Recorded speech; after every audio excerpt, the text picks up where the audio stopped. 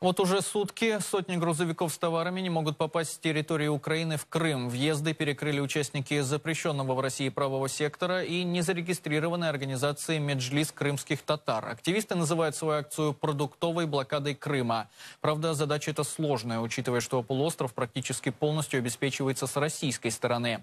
Против кого направлена импровизированная блокада и кому она вредит на самом деле? На месте событий разбирается Александра Литвинова.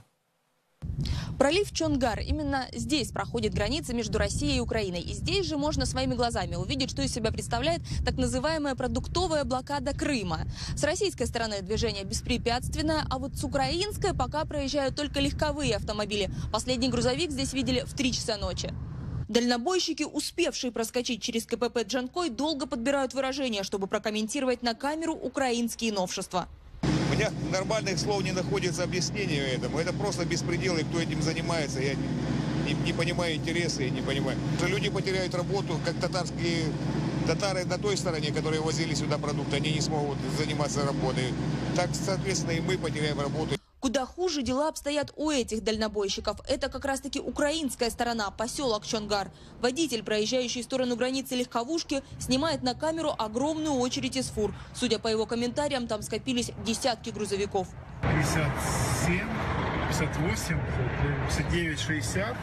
Сколько им придется здесь стоять и что будет с товарами, большинство из которых имеют ограниченный срок годности, пока не ясно. Акцию ее организаторы, а это лидеры незарегистрированной организации «Меджлис крымских татар» Рифат Чубаров и Мустафа Джемилев, называют бессрочной. Присоединились и бойцы запрещенного в России экстремистского движения «Правый сектор», тут же сотрудники украинской милиции. Людей много, военных много, митинга не видел. Перегородили, там стоят вот какие-то заграждения от больших машин.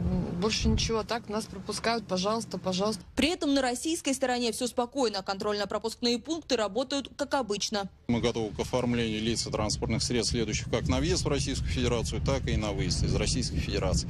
Каких-то сбойных ситуаций пока нету по сопредельной стороне, соответственно, после двух часов ночи с сопредельной стороны в нашу сторону не приехало ни, ни одного грузового транспортного средства. Свою точку зрения по поводу продовольственной акции высказали крымские татары. Более сотни человек устроили пикет у дома Мустафы Джемилева в Бахчисарае. В правительстве Крыма тем временем не просто спокойно. Здесь откровенно смеются над акцией. Сергей Аксенов в своем комментарии даже вспомнил сюжет сатирического советского мультфильма про ограбление по-итальянски. Там, где Марио все собирался ограбить банк, всех предупреждал за неделю, все, как пойду, как ограблю, скоро пойду, все, деньги отдам, когда ограблю банк. Вот цель, наверное, точно такая же, просто донести до своих кредиторов, что хоть что-то делается с целью создать какую-то деструктивную позицию на границе с Республикой Крым, поскольку давно все крымчане к этому были готовы.